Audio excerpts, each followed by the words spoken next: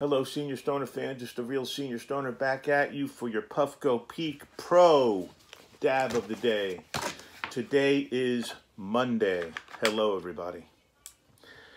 I've been really on a series about how to help us get through difficult situations. But what about how to achieve a difficult goal?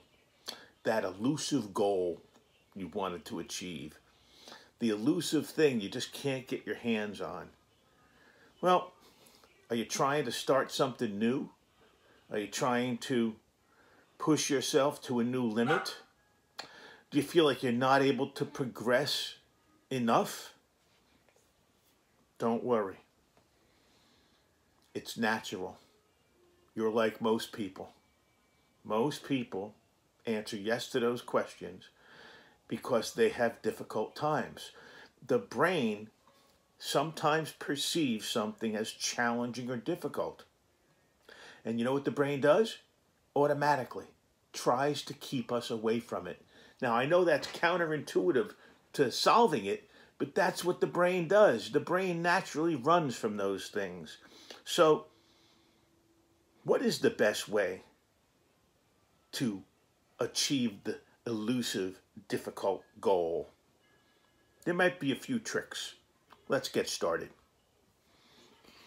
Well, I've always believed this since I was in college because one of my psychology professors talked about it. First thing in the morning.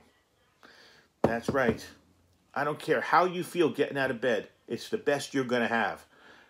Studies have actually shown that if you target that goal, first thing in the morning, even as you're waking up, you're able to utilize an extra charge, a charge like an electrical charge, to start helping you work through the problem. And you know what? If you do that, if you're starting to work on something that you feel is difficult early in the day, it's less likely to take up your whole day. That makes some sense, doesn't it? So, if based on your schedule, you can reserve some time in the morning for doing that, boy, that might really help us. And the thing that I like most, and I've talked about it before, but this is a little different, is visualize yourself actually achieving your goal. Whatever the target is, bullseye on that target. Visualize it. Don't just say it, visualize it. And simply said, you know what? If the goal you're trying to achieve is a challenging one, you will feel awesome when you achieve it. So, if you achieve it even in your brain, you're going to start to move forward towards achieving it. So, think about it.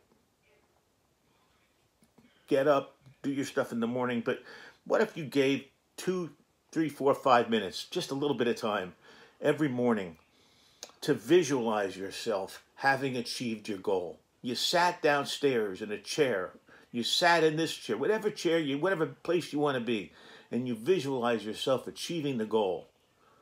It's going to help you achieve the goal. And it's going to be deep, and there's going to be emotion attached to it. And you know what? You're going to be more capable for doing other things. It's going to be better for you and people, better for you and colleagues. You see, what happens in this is that all your senses are exercised when you visualize something. Not just seeing it, you visualize it. Sometimes people say they can taste it. But just think about doing that and try to do it in a seated position, not standing. Try not to stand around and visualize. Try to sit. Supposedly it helps. And then this is great because I'm a parent and I'm a pet owner. Promise yourself a reward. What do you think of that? It's a trick, isn't it? No, it's not a trick, but it makes your brain work towards whatever that difficult goal is, the elusive, challenging goal you have. Why do you think this is to your advantage? Well, because let's talk about it. Your dog will do anything for a cookie. All right? A hungry person will do anything for food. People will do anything for positive reinforcement. So to be honest, what you're doing is you're treating yourself, you're treating yourself only when you complete the target. You're going to give reinforcement. You're going to promise the reward, but you're not going to get it until you move close to your target. If you show movement, you get a reward. There's no movement, there's no reward. For example, tomorrow morning, if I get up and the first thing I do is spend two or three minutes thinking about my goal, you know what? I've achieved something. I deserve a reward for that because doing that is a step in the right direction. It's really amazing how important the first step is in anything. The first step is your decision to decide to do it. Tao wrote, A journey of a thousand miles begins with a single step. So nothing moves until you start to move yourself. All the knowledge is of absolutely no use to you. All the videos you watch are meaningless until you sit down and try to apply the knowledge or information or advice. Listen, everybody. Take a deep breath. Start on your number one priority now. Plan it and do it daily because you will find you will have incremental success as you build the days along. And you know what? There's a bonus too. There's a bonus. Your brain, your brain, when you accomplish things, when you feel good, releases oxytocin and serotonin, hormones, because you're feeling fulfilled. You're feeling like you've done something. I don't care. For me, the biggest thing to do today was to do this video. And some days that's the biggest thing for me because I'm jammed up. But if I get through it, if I'm able to do it, I go and I sit down. I go, wow, look what I did. Feeling the way I feel. Look what I did. And you know what? There's nothing like that.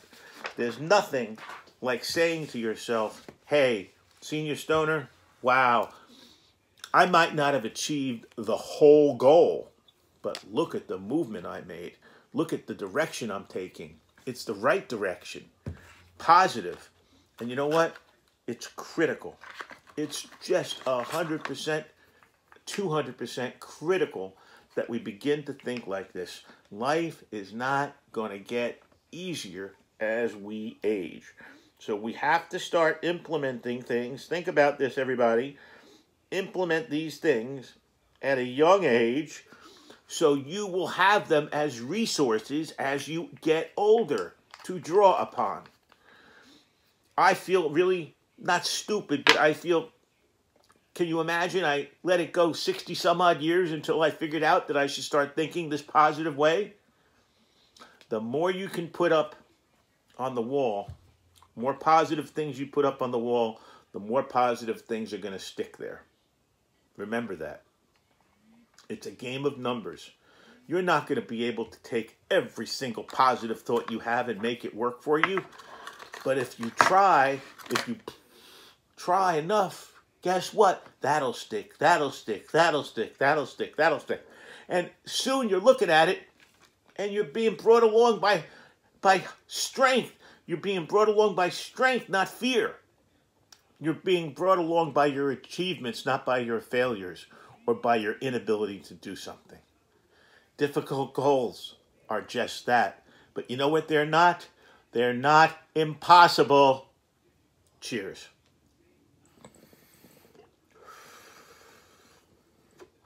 If you enjoyed this video, excuse me, please subscribe. Send me your comments.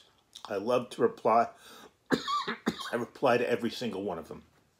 This has been the Real Senior Stoner. And remember, nothing is impossible.